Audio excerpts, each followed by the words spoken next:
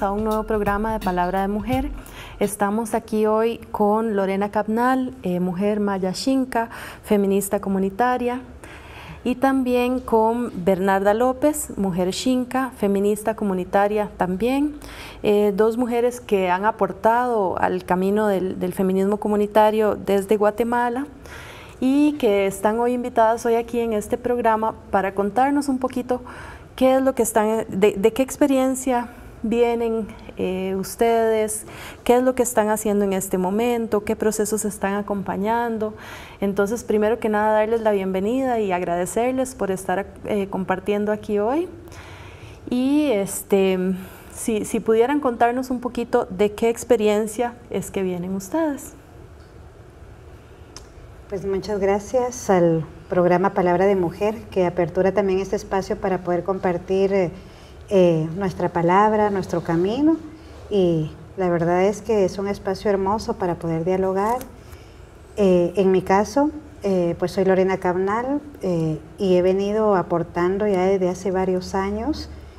Yo podría decir quizá unos 16 años, pero con mayor fuerza, digamos, en este camino de lo que le llamamos la recuperación emocional y espiritual de las mujeres indígenas, en el caso de Guatemala, eh, a partir prácticamente de hace unos 13 años para acá. Bueno, muchas gracias. Bienvenida Lorena y Bernarda. Muchas gracias. Si quisiera usted presentarse, contar un poco de qué proceso viene. Sí, eh, eh, sí quiero compartir eh, mi experiencia que he tenido como mujer xinca, como mujer indígena, en los procesos que hemos ya trabajado con compañeras, con otras mujeres, en otros espacios, donde hemos apoyado ya a mujeres sufriendo violencia sexual, violencia económica eh, y física. Entonces, el proceso de nosotras pues ha sido más con mujeres rurales, mujeres de comunidades, mujeres empobrecidas, mujeres que no hay oportunidad de ir a un médico, de un apoyo rápido. Eh, nosotras hemos apoyado eh, con nuestro proceso de sanación emocional para, para, para que ellas pues se sientan apoyadas. Hemos trabajado con, en diferentes territorios. Eh, hemos trabajado en el Petén con, con mujeres del Petén. Eh, hemos trabajado también en Varías, Huehuetenango, eh, San Juan Zacatepeques, también en el Quiché. Hemos estado apoyando ya a compañeras que han, han sufrido mucho el sistema nervioso que ellas, ¿verdad?, se han, ya han caído en depresión, ¿verdad? Entonces hemos tenido que apoyar eh, y, lo, y, lo, hemos hecho y nos ha funcionado. Yo creo que también hay mucha necesidad en nuestras compañeras, ¿verdad?, de seguir. Y hoy, pues precisamente eh, de la experiencia que he venido de Amis Mashag, eh, de trabajar 13 años, ahorita pues se conforma otra red de mujeres sanadoras ancestrales. Y es ahí donde ahorita estamos ya iniciando, trabajando y apoyando a otras mujeres. Justamente de eso queríamos conversar en el programa de hoy, este, porque sabemos que ustedes están haciendo un trabajo de, sanación y que tienen también una propuesta de sanación como camino cósmico político desde el feminismo comunitario. Ustedes tal vez si, si pudieran compartir un poquito más acerca de esta red de sanadoras ancestrales, qué es, cómo surge, cuál es la necesidad también a la cual responde. Compartir eh, brevemente que durante lo que fue el estado de sitio, en el caso de la montaña de Chalapán, eh, esto ya va a ser tres años, eh, justamente nosotras que veríamos de la experiencia de acompañar procesos de recuperación emocional y espiritual de compañeras en ese momento en la montaña y desde la experiencia que fue con Amin Mashah, nos dimos cuenta que llegó un momento en que nosotras que hemos acompañado los procesos también necesitábamos ser sostenidas ante todo lo que estaba implicando eh, la problemática territorial del ejército y todo lo que estaba implicando vivir bajo un contexto de estado de sitio. En ese momento creo yo que es cuando sale la propuesta que para entonces veníamos ya eh, tejiendo en la montaña y varias compañeras y hermanas empiezan a conocer porque el estado de sitio en, en ese momento nos mueve. Cuando empiezan a darse cuenta de la importancia que es la recuperación emocional de mujeres viviendo graves riesgos, ataques y amenazas por el trabajo político que realizamos como defensoras no solo de nuestro primer territorio cuerpo, sino también del territorio tierra, entonces nos damos cuenta de que hay una cantidad de mujeres, ¿verdad?, que también empiezan a pedirnos que acompañemos varios de sus procesos. Es ahí donde entonces, eh, como comparte Bernarda, eh, fuimos a Varías, las compañeras eh, acompañaron un proceso con las mujeres esposas de presos políticos en el contexto de la lucha contra la hidroeléctrica. De pronto nos damos cuenta también que los desalojos violentos de comunidades en resistencia como la Puya también nos empiezan a convocar para acompañar el estado emocional y la crisis emocional que están viviendo las mujeres en ese momento. Y luego, por ejemplo, también en el caso de las compañeras que vienen de una situación bastante compleja de violencia sexual en el contexto de la lucha contra minería en el Estorizabal, mujeres maya quechis. Y así nos fuimos dando cuenta que no solo las mujeres en ese momento y en esa historia de las mujeres eh, en Chalapán, sino que también otras mujeres defensoras de territorio, cuerpo, tierra, pues entonces eh, también estaban eh, pidiendo que acompañáramos. De ahí entonces, con más eh, caminos, empieza a tejerse la propuesta de la sanación como camino cósmico-político. Y en, ese sentido, decir que desde el feminismo comunitario en Guatemala concebimos la importancia de sanarnos, pero sanarnos en la integralidad. Sobre nuestros cuerpos se han construido todas las opresiones, el machismo, el racismo, la lesbofobia, la misoginia, Todas las opresiones y todos los efectos de las opresiones están sobre el cuerpo, pero también es en el cuerpo donde habita la energía política para, liberarse también. Entonces empezamos también eh, a recuperar, a revitalizar los saberes ancestrales de nuestras abuelas, madres, tías, hermanas, amigas, compañeras, originarias, ¿verdad? En este caso, digamos, sabidurías de mujeres mayas, de mujeres chincas, se fueron tejiendo y empezar a recuperar la sabiduría de nuestras ancestras para recuperarnos los cuerpos, ¿verdad? De estos estados emocionales graves y complejos. Pero también empezamos a hablar de que es importante no solo sanar la corporalidad, todas las somatizaciones que tenemos, sino también de que es importante sanar eh, políticamente, ¿verdad? De todas estas formas de violencia que las mujeres hemos vivido. O sea, para, hoy no concebimos que sea importante comer bien, descansar, eh, tener nuevas prácticas de relacionamiento de los cuerpos con la naturaleza, si también no asumimos como un acto personal, voluntario y político sanarnos el racismo, sanarnos la discriminación, sanarnos cómo ejercemos violencia, porque entonces, pues, si no lo hacemos, sanaríamos parcialmente. Ustedes están en, este momento acompañando procesos de defensa de territorio. Entiendo que, han estado ahí acompañando a varios procesos, varias compañeras también que están involucrados en estos procesos de defensa de territorios. Eh, doña Bernarda, tal vez si pudiera contarnos un poco, ¿verdad? ¿Qué procesos son estos que ustedes han estado acompañando?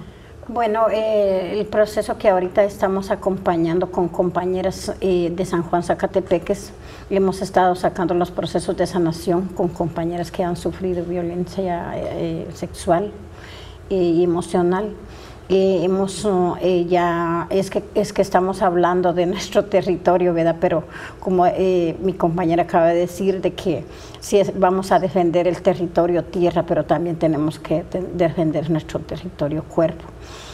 Eh, entonces el feminismo comunitario nos nos enseña pues de que para estar en la resistencia tenemos que también tener resistencia en nuestros cuerpos, ¿verdad? Entonces lo que hemos tratado de hacer es que las compañeras pues eh, darles su, su masaje, su terapia, para que ellas también se sientan fortalecidas. Y para eso también tenemos elementos, porque también nuestra cosmovisión, ¿verdad? Tenemos que hacer una conexión con la tierra, con la naturaleza para podernos sanar. Es allí donde hay una conexión. y nos tenemos que, desconectar también cuando hacemos los procesos. Eh, motivamos a las compañeras, ¿verdad? Que se tienen que desconectar. Además, tenemos, como mujeres tenemos que eh, tener nuestro propio espacio para nosotras. Nunca tenemos un espacio porque en la casa pues estamos pensando en, muchas cosas, ¿verdad? Y no decimos, pues nosotras eh, somos mujeres, tenemos que tener nuestro espacio, nuestro tiempo, no nos damos el tiempo. Los procesos consisten en que desde día y medio, un proceso no se puede hacer en, en un rato, en un día. Les decimos que dispongan de su tiempo, porque van a ser, va a ser el tiempo de ellas y de nosotras también, porque sanamos nosotras, pero también tienen que sanar ellas. Eh, las hemos acompañado de, un día y medio, el proceso ha llevado tiempo. Se les hace su, mascarilla, que también la trabajamos la mascarilla y la medicina natural, que es el, son los TED, ¿verdad? Porque cuando sacamos los, hacemos los procesos, la alimentación también tiene que ser adecuada, ¿verdad? Al proceso que se está llevando.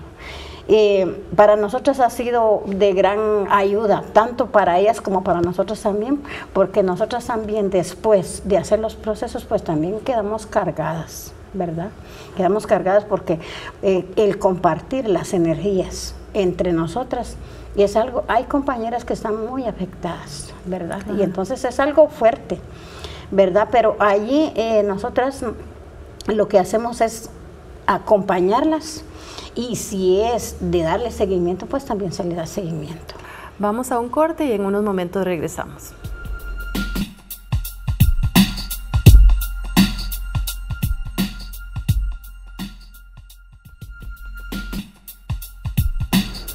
Estamos en el programa Palabra de Mujer. Eh, estamos hoy conversando con Lorena Capnal, mujer maya xinca, feminista comunitaria y con Bernarda López, también una mujer xinca, feminista comunitaria. Eh, ambas han aportado al, proceso, a distintos procesos en Guatemala y hoy estamos conversando acerca de la propuesta de sanación como camino cósmico político.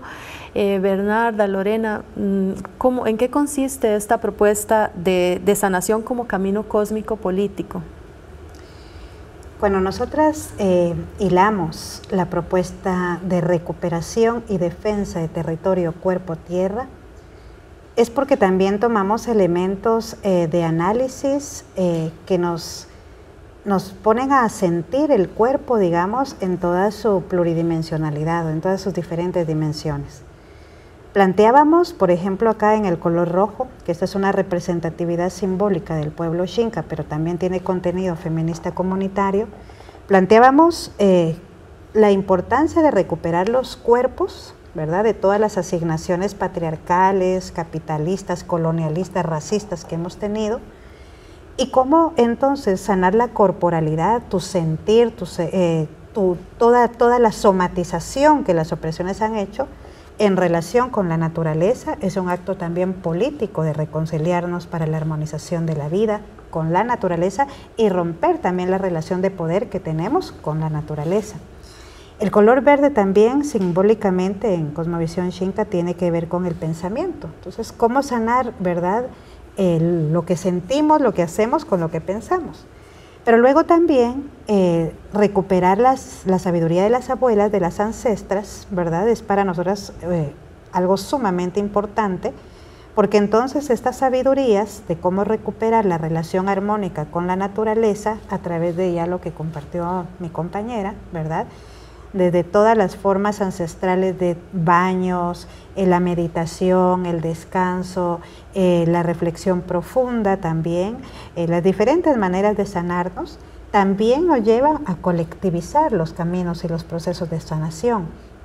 Considerar entonces que la sanación como camino cósmico político nos invita a sentir no solo el cuerpo, ¿verdad? Cómo tenemos de manera consciente en una memoria corporal pues las diferentes enfermedades, pero cómo también lo que la psicología occidental plantea, ¿verdad? Cómo también hay en las subjetividades una cantidad de memorias para sanar. Y es justamente ahí lo que las diferentes opresiones nos han instalado. Y hacer una ruptura importante de todas esas asignaciones con las que hemos, eh, hemos sido cuerpos construidos, ¿verdad?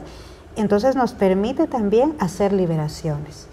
Para nosotras es importante eh, hacer una reconexión con la naturaleza. El sistema patriarcal nos mutiló prácticamente los afectos y las formas de sanar con la naturaleza. Se impone un sistema capitalista, mercantiliza la naturaleza y hoy resulta que la salud y la enfermedad pues está eminentemente comercializada. Entonces, recuperar la sabiduría de los pueblos, de las mujeres, de las diferentes prácticas ancestrales para la vida, creo que también se vuelve un acto político de resistencia para emanciparnos y para poder también, en medio de esta complejidad de vida que hoy tenemos ante, ante el cáncer, ante una diabetes extrema en, en niñez, en mujeres, en hombres, ante las, ante las etapas depresivas, eh, que hoy, digamos, eh, conllevan a la falta y la pérdida del sentido de la vida, ante tantas problemáticas, digamos, o psicopatologías, como lo nombra, se nombra hoy, digamos, en, la sociedad actual, este tipo de enfermedades complejas, eh, creo que vale la pena recuperarnos los cuerpos para la vida. Los cuerpos nacimos eminentemente con una razón de ser y estar en la vida, que ser cuerpos felices, cuerpos para seguir generando la vida. Sin embargo, hoy nacemos y nacemos ya enfermas, enfermos, ¿verdad? Con una situación compleja y creo que esta propuesta también nos permite desde comunidades eh, donde conocen sus maneras de sanación, es revitalizar esas prácticas. No es llevar y cúrense de esta manera, sino también aquí hay manera, reconocer la sabiduría de las mujeres, las parteras, las sobadoras, las yerberas, hueseras, mujeres y hombres que también aportan a sanarnos los cuerpos y los espíritus eh, eh, desde otros caminos. Ya um, hablamos un poquito de por qué nombrar este camino como un camino político. A mí me gustaría si pudieran tal vez profundizar un poco más acerca de qué significa esta parte del, proceso político, ¿verdad? Porque hasta donde entiendo no son espacios de sanación eh, muy basados como en lo individual o en lo que se llama como autocuidado, sino que tiene una intencionalidad un poco distinta. Sí, yo creo que ahí efectivamente cuando decimos la sanación como camino cósmico, porque traemos la sabiduría desde nuestras cosmovisiones, ¿verdad? Y desde las abuelas, todas las mujeres que han aportado, pero cuando decimos lo político es porque hay una intención una intención que nos lleva también a hacer procesos profundos de meditación, de reflexión, de sentirnos hoy cómo estamos viviendo en la vida, de sentirnos también cómo estamos teniendo una cantidad de construcciones dentro que no nos dejan ser personas libres, ¿verdad? De cómo tenemos ahí internamente el ejercicio y el poder y el control y cómo ejercemos la violencia. Si yo, por ejemplo, no me cuestiono o siento que estoy bien porque me alimento bien, porque duermo, porque hago ejercicio, pero de pronto no me cuestiono cómo ejerzo el poder y el control y la violencia contra las niñas, contra los niños, contra los animales o contra la naturaleza, es porque ahí tengo algo, una enfermedad política, ¿sí? Tengo una, estoy ciega para ver de qué manera eh, no logro, eh, no lo, o sea, lo siento, está tan naturalizado que para mí no, es, no tengo enfermedad. Para mí todo mundo actúa. Cuando siento, eh, cuando empiezo a sentir, digamos, dolor porque ver a una niña violentada, ver la violencia sexual, ver cómo la tierra se depreda, cómo se extrae de la tierra sin que eso me duela, es porque ahí ya tengo naturalizada una cantidad de enfermedades que puedo decir que son enfermedades provenientes pues de toda la construcción de sistemas de opresión sobre mi cuerpo. Sanar políticamente es cuestionarme ante la vida si me duele o no me duele en esa hermosa red de la vida, aquellos actos que proponen en riesgo la vida, la vida de las mujeres, la vida de los niños, la vida de los pueblos indígenas que hoy hacen una lucha y una defensa por su territorio, pero si a mí eso no me indigna, a mí eso no me duele, pues yo creo que ahí me está diciendo que hay síntomas, ¿verdad? De esa inconsciencia profunda y, y que invita a también buscar caminos y procesos de sanación. Por eso es político. Vamos a un corte y en un momento regresamos.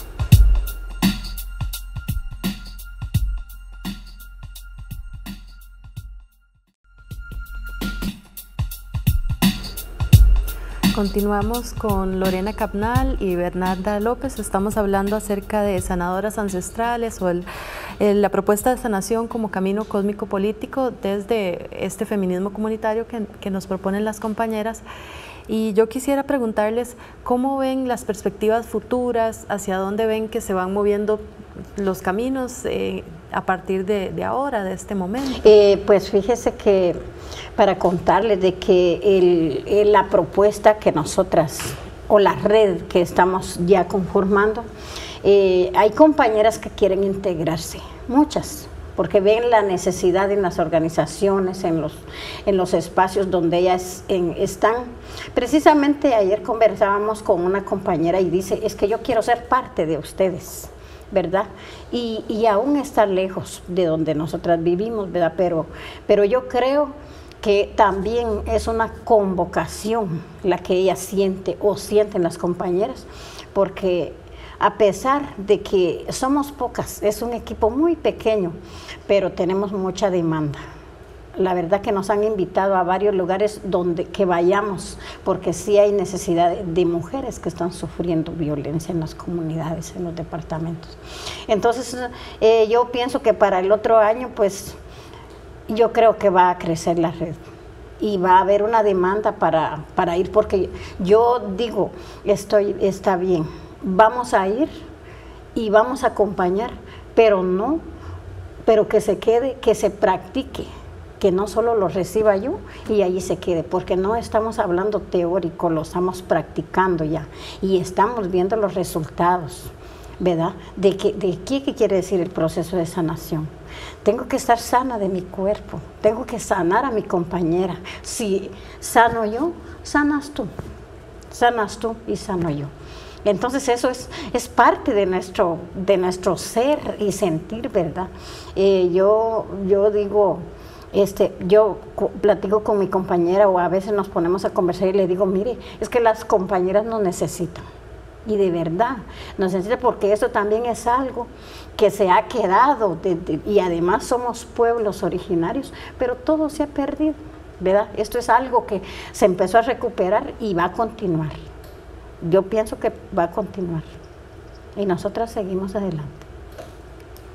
Sí, y yo creo que cada vez son muchas más mujeres con sabidurías hermosas. Nosotras planteamos que todas las mujeres somos herederas ancestrales de, sanados, de sanadoras, todas.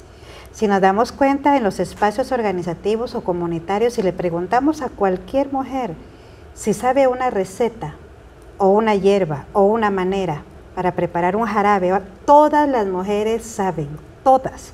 Entonces, recuperar también de manera hermosa y política la sabiduría de las mujeres para recuperarnos los cuerpos para la vida es algo hermoso. Y creo también que son hermanas de varios pueblos que se sienten convocadas con esta propuesta porque sienten que los elementos de su conexión eh, cósmica, eh, los elementos de sus pueblos originarios, abrazan, se abrazan en la propuesta. Tenemos los elementos de la espiritualidad de cada una de las mujeres para los elementos que nos convocan, el agua, el fuego, el aire, la tierra, los calendarios, eh, las maneras como las mujeres hemos aportado desde tiempos ancestrales y eso convoca a las mujeres. Hay un código común y creo que en ese sentido de otros pueblos también y de otros caminos las mujeres se sienten eh, con el deseo de, ser y de integrarse a la red. Muchas gracias Lorena, muchas gracias Bernarda. Estuvimos hoy conversando acerca de la red de sanadoras ancestrales. Eh, nos vemos en un próximo programa de Palabra de Mujer.